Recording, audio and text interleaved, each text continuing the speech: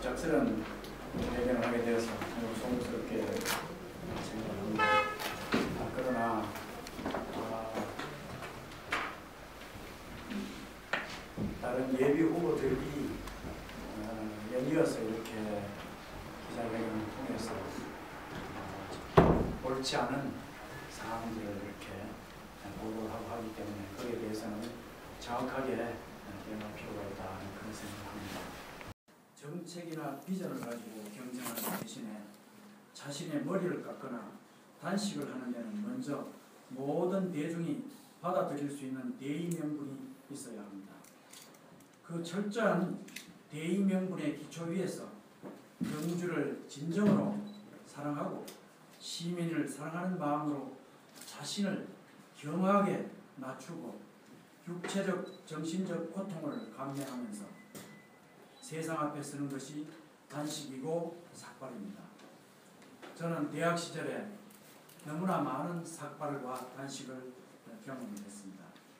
시민의 공감을 불러일으키는 비전을 제시하거나 자신의 부족한 점에 대하여 철저하고 겸한 성찰을 함이 없이 불리해지고 있는 자신의 세를 특별한 방법으로 만회하려는 생각이나 다른 사람을 어렵게 만들기 위해 하는 어떠한 충격적이고 자기 기만적인 시도도 결코 시민적인 지지를 받기는 어려울 것으로 생각합니다. 저는 법이 정하고 있는 절차와 기간 동안 성실히 시장 직무를 수행하고 특히 폭설과 조류독감 사태로 다소 늦어지긴 했지만 이번 읍면 전 지역에 대해 업무 보고와 여론 청취를 모두 마치고 이제 4월 3일 예비 후보 등록을 하고 선거전에 임하고자 합니다. 이번 지방선거는 경선이란 특별한 선거 절차가 있어서 이에 대비해서 당초 예정보다 앞당겨 예비 후보 등록을 하고자 합니다.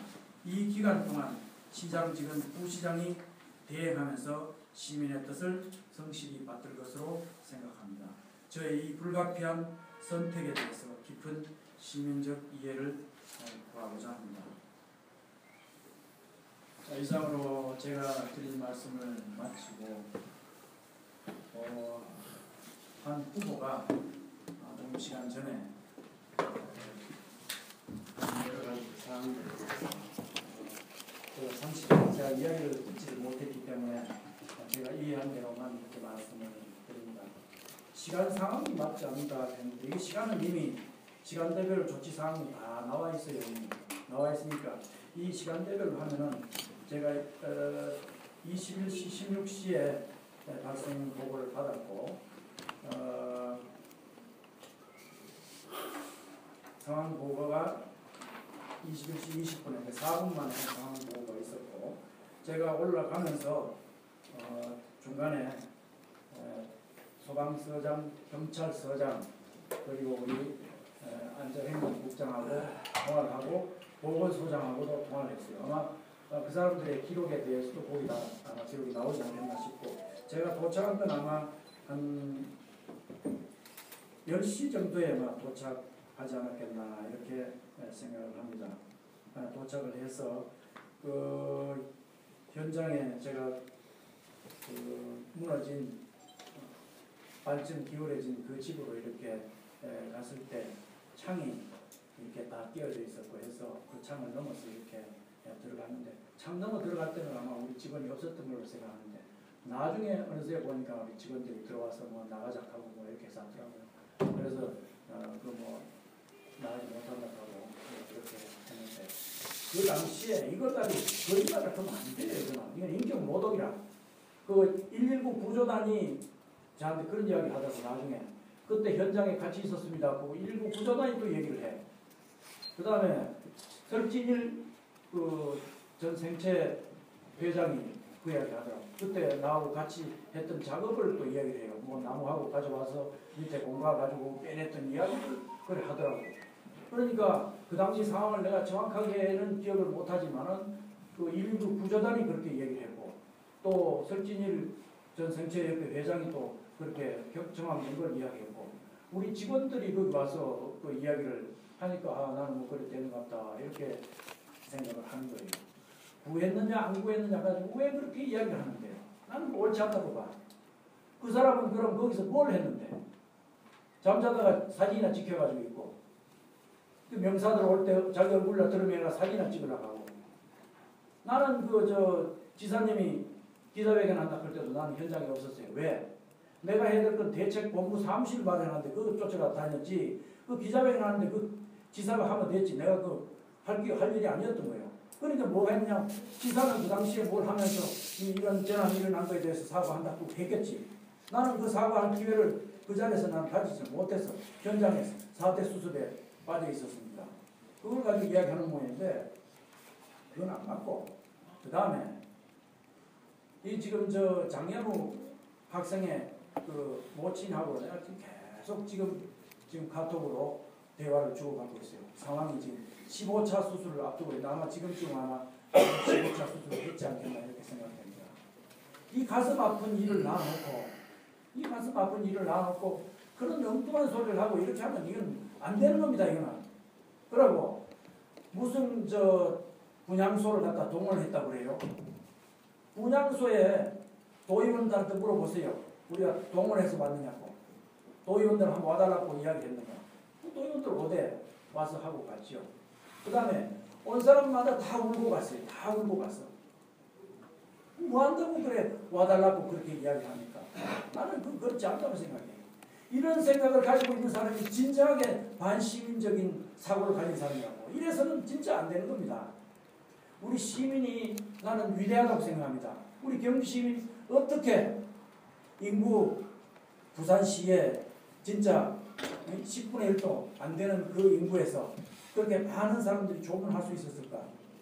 그건 내 실적 하려고 하는 거 아니다 이거야. 그게 무슨 실적이요 그게? 조문 마용에 왜 시장 실적이 됩니까? 나는 그렇게 생각하지 않아요. 오히려 와준 것은 바로 시민들이 거기에 와서 조문했다는 시민적 위대함이지. 어떻게 그걸 그렇게 해석할 수 있어요? 나는 이런 식으로 사실을 왜곡하고 하는 건 진정으로 안 된다고 생각합니다. 그러고 선거를 치르려면 정책이나 비전을 가지고 해야 되죠. 스킨십, 스킨십 하는데 진정한 스킨십은 나는 스킨십이 아니라고 생각합니다. heartship이 heartship. 마음과 마음으로 가야 된다고 생각합니다. 그 자리에서 수많은 사람들이 와서 경주 시민들이 거기서 울고 가면서 거기에서 나는 시민적 heartship이 있는 거죠. 무슨 너무 스킨십이요. 소리나 간지리면서 나는 그게 스킨십인가? 나는 그렇지 않다고 봅니다. 그리고 이걸 가지고요. 경주 시민 1,500명이 강설이 분분한 산꼭대기에 올라와서 밤을 새우고 했는 그걸 기억을 해야 됩니다. 어떤 사람은 거기에서 졸다가 사진 찍혀가지고 거짓을 하지. 그때 나는 현장에 들어가서 내 목숨을 내놓고 했다고요. 그거 생각할 여유가 없어서 왜 이렇게 모독을 하는데 이러면서 내가 부도덕하다고 얘기를 해요. 나는 현장에서 잠 깊이 자고 돌아다니면 그게 진짜 부도덕한 거지. 어떻게 내가 부도덕한 거예요? 나는 내가 할 짓을 당연히 했어. 왜요? 제가 경주대학 총장을 지냈어요. 애들이 거기서 소리를 지르는데 내가 어떻게 안 들어가요, 그게? 우리 언론인들이라도 그 소리 들었으면 들어갔을 거라고 생각합니다. 당연히 들어가지요. 그걸 가지고 왜 비난하는데? 자기는 여기서 정책을 가지고 미래를 가지고 우리 경주 시민한테 설득을 하고 나를 선택해 주시오. 하고 그렇게 해야지. 아니면은 잘하는 악수 가지고 돌아다니면서 손을 내밀든지 이렇게 해서 스킨십을 하든지 이렇게 해야지. 이게 뭔 나. 도대체 난 이해가 안 들어요. 내가 뭔 부도덕한 걸 했는데 이거는 사실을 밝혀가지고 이건 명예훼손 한 거니까 공개적으로 명예훼손 한 것이니까 이건 나는 법적인 조치를 취해야 된다고 생각합니다. 이래서는 안 되는 거죠. 저는 대학 시절에 미술을 하고 할 때 수없이 머리를 깎았지만 머리를 깎는다는 것은 무엇을 의미하느냐 사람들한테 보여주는 것이 아니라 진정으로 자기 자신이 먼저 한 점 부끄러움 없이 자기 자신을 먼저 내어놓는 겁니다. 그러고 난 뒤에 시민들한테 자기 자신을 내어놓는 자세를 가져야 된다고 생각합니다. 이런 자세를 가지고 시민들한테 나아가야지. 어떻게 이- 이런 일을 짓을 할수 있냐 말이야. 뭐 시간이 안 맞는다든지 뭐 시간이 기억을 갖다가 정확하게 알 수는 있어요. 그러나 여기 기록이 다 나와 있어 이미. 나와 있는 이 기록대로 설명하면 되듯이. 그걸 가지고 무슨 뭐안이 네가 구했느냐 하고 구했다는 것은 뭘 말하는 겁니까? 불러매고 나오는 게 구해지는 겁니까? 밑에다가 뭘 집어 넣어가지고 발을 빼내고 하는 그런 작업을 하는 것을 구했다는 겁니까? 무엇을 말하는지 난 도무지 모르겠어. 왜 이런 걸 가지고 시장의 위험을 무릅쓰고 현장에 들어가고. 나는 내 자신을 이야기를 한 적도 없어요 이게. 어디서 다른 데서 사진 나와가지고 나는 이게 된 줄 알았어요. 언제 내가 이거 언론 플레이를 했어? 한 번도 내 언론 플레이 한 적이 없어요 이게. 이거 보도가 됐지. 어디서 뉴스원인가? 거기에서 나와서 난 알았어요. 이게 왜 나왔냐? 이 사진이 왜 사진이냐고요 그래서 이거 내 사진 맞느냐고 내가 물었어요 이게 내 사진 맞냐 그러니까 우리 직원들이 자기가 찍었으니 자기 사진 맞다는 거예요 내 사진 맞다는 거예요 그래서 그게 제 사진인 줄 알았지. 어떻게 알겠습니까? 그래. 그러고 그날 또 저는 낮 아침 6시 반까지 돌아다니면서도 내가 한 행위에 대해서 어느 누구한테도 입 밖에 낸 적이 없어요. 내가 입 밖에 내는 걸 본 적 있습니까? 아무한테도 내가 그런 사실 입 밖에 낸 적이 없습니다. 뭘 내가 그걸 갖다가 이용했다는 겁니까? 이렇게 하면 안 되는 거죠. 적어도 이 30만 경주 시장이 되려는 사람은 당당하게 정책을 가지고 비전을 가지고 이렇게 시민 앞에 나서는 게 나는 이게 당당한 대도라고 생각을 합니다. 이래가지고는 안 되죠. 무엇을 부도덕하다 이게. 내가 도둑질을 해먹었어요. 아니, 거짓말을 했어요. 지금 공약 해가지고 최고수 등급 받았고 A 등급 다 받았어요. 그럼 시민들한테 나는 거짓말을 한게 아니라는 거예요. 물론 사람이 완벽한 인간은 없습니다. 이 세상에. 자기 스스로가 깨끗하다, 완벽하다 이렇게 할 수는 없어요. 그러나 그렇게 하기 위해서 최선의 노력을 다하는 게 그게 사람 된 모습이 아닐까요? 저는 그렇게 생각합니다. 이래서는 안 됩니다. 경주시장 선거 이렇게 가서는 진정으로 안 되는 겁니다. 자기의 불리한 세력을 갖다가 이렇게 만회하기 위해서 이런 일을 해야 된다고요? 이건 옳지 않은 겁니다.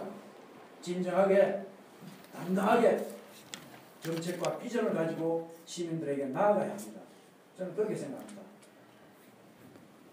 아, 이저 우리 저 전에 이 저 하신 분이 무슨 내용을 이야기 어떻게 이야기하셨는지 내용은 잘 모르는데 아까 그 목차를 이렇게 훑어보고 한 얘기 가지고 그냥 말씀드렸습니다만 혹시 언론 여러분들께서 거기에서 궁금하신 사항이나 제기된 문제가 있으면 저한테 질문해 주시면 제가 지금 답변하겠습니다.